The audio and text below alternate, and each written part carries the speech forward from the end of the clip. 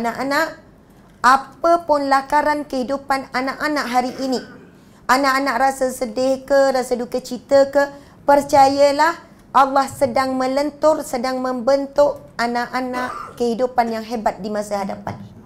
Kalau kita tengok pada sebatang pokok, akar itu adalah ujian demi ujian yang kita tempuh. Makin banyak ujian, makin kuat akar itu. Bila datanglah ribut ke apa ke ujian, dia tetap teguh. Tapi pujian pada sebatang pokok umpama seperti daun.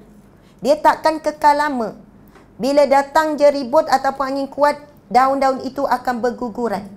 Siapa yang hidupnya bergantung kepada pujian, penghargaan, dia bergantung kepada perkara yang sangat rapuh. Tapi kalau kita ada ujian apa pun anak-anak, kawan-kawan dekat asrama ada yang pulaukan kita contoh. Kawan-kawan dekat asrama ada suka ejek kita. Kita rasa kita mungkin tak disayangi oleh guru apa. Apapun ujian, percayalah Allah sedang membentuk jalan yang hebat untuk kamu. Sebab itu saya selalu pesan bagi ini.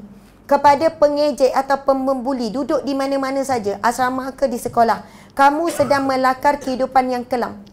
Dan kepada yang dibuli ataupun yang diejek, tapi kamu sabar dan kamu tidak pernah membalas, kamu sedang melakar kehidupan yang terang.